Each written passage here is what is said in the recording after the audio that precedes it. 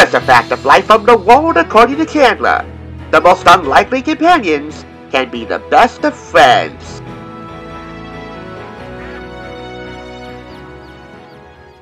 Could we be more white trash? Welcome! You're watching the thrift store Rundown leaving Hollywood home on a budget.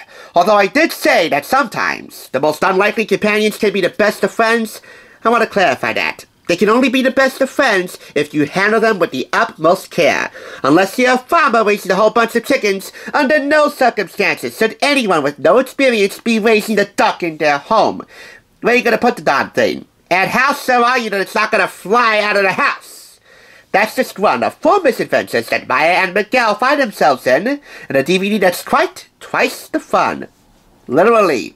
Because this is the second Maya and Miguel DVD I purchased. This one coming to us originally from the Union Free Public Library, the Vauxhall branch here in Jersey. Then making its way to 2nd Avenue Thrift Superstore in Union where I picked it up for half off a buck 99. And now it's here on my table at TSR HQ.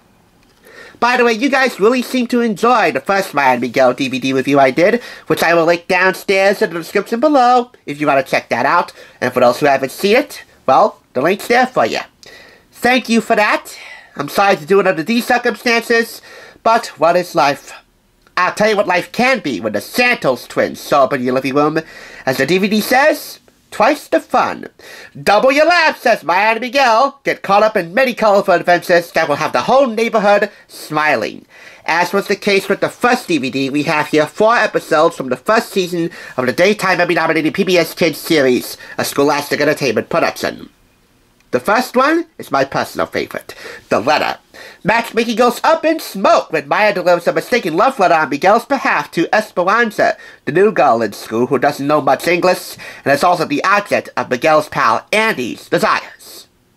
We also have the autograph, Rhymes with Gato, which is the focal point of this video, and my second favorite, La Nueva Cocinita, where the Santos twins try to spice up the neighborhood with some of their abuela Elena's old recipes. You know what literally rhymes with gato? Pato. Gato means cat, aka Yo-Yo, Chrissy's cat who ends up running away. And Pato is stuck, aka the duck that was originally hired to perform at Cousin Tito's courtyard birthday party, but ends up getting lost as well. He ends up, or she ends up, in and Miguel's care thanks to Maggie's bad Spanish, mistaking a gato for a pato. In time, the duck warms up to Maya, just as the duck on Friends warmed up to Chandler and Joey, and that chick too. The duck didn't take too kindly to anyone else. In any event, this DVD runs uh, 88 minutes, approximately, and is closed captioned. Distributed by Lionsgate Home Entertainment.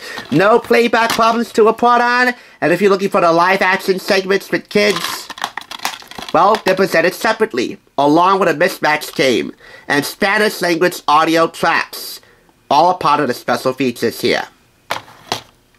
Maya Miguel does incorporate a lot of Spanish sayings, phrases, and dialogue into the series, but either immediately after or before, they're followed up with their English translations. So it's very easy for you to understand all the Spanish that's going on here. I mean, this is one of the few narrative-driven PBS Kids series uh, that you can find out there. Especially when it focuses on Latino culture. And Chinese culture on the part of Maya's friend Maggie, African American culture on the part of Miguel's friend uh, Theo, who's quite the smarty pants, in a good way. So, you really are in for a ball if you pick this up. I'm giving it four and a half out of five claps. And that right there, my friends, is another SOS signal being answered. I just hope that Chandler and Joey's chicken duck go to a good home, and they get some decent names. In fact, this DVD might have provided the new owner of the chicken duck with two decent names to begin with.